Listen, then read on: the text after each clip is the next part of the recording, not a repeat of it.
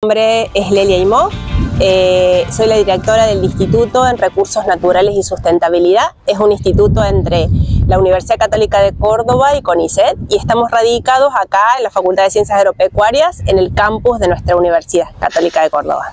No es para ustedes habitual que eh, después de mucho tiempo de trabajo, donde vienen desarrollando diversas experimentaciones, se encuentran con un reconocimiento que ha entregado la Unión Industrial de Córdoba, ¿verdad? ¿Sí? el Ministerio de Industria de la provincia, eh, encabezado el, evento por, el mismo gobernador Martín Yarlora, en conjunto bueno, con el Ministerio y como vos bien lo dijiste con, con la Unión Industrial, eh, es la 40 edición de este premio. La verdad que tuvo un fuerte impacto del sector agropecuario, de empresas agropecuarias, una de ellas, el Grupo Cordeiro, en eh, el rubro, sacó primer premio en el rubro de asociatividad.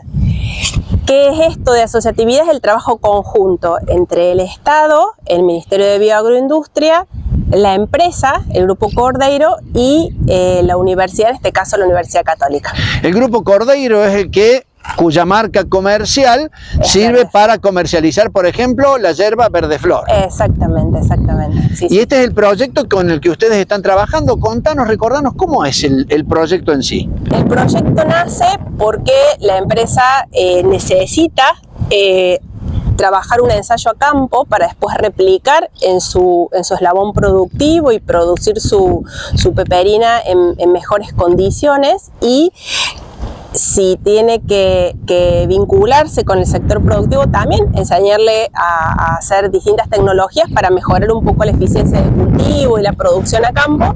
Entonces la idea era generar una unidad productiva que pueda replicarse eh, en estos términos. Entonces es por eso que la empresa se acerca a la universidad y a través de vinculación tecnológica, ¿qué es esto? Es una herramienta entre eh, el sector privado, que tiene en este caso una necesidad, y nosotros de la universidad que podemos responder a esa necesidad. Entonces es por eso que se, que se diseña este ensayo y bueno, y empieza a, correr un poco, eh, tratar de, de, de, responder y de dar soluciones a, a esta necesidad de, de, una empresa en particular. Claro ejemplo de lo que puede el asociativismo y sobre todo cuando estamos sumando la parte práctica, el conocimiento, la innovación y eh, los resultados que obtiene una empresa. Exactamente, exactamente. Sí. Bueno, eh, ¿alguna dedicatoria especial para este premio que ha sido muy celebrado aquí en la Universidad Católica de Córdoba? Ha sido muy celebrado. La verdad que nosotros estamos más que agradecidos a nuestro rector, al padre Andrés Aguerre, a nuestro decano, el, el doctor Leonel Alicio, y bueno, a todas las autoridades que nos han, a, a través de la Secretaría de Investigación, de Vinculación, eh, con sus vicerrectorados respectivos y a la facultad, realmente estamos más que agradecidos por, por permitirnos y darnos el apoyo para que esto suceda.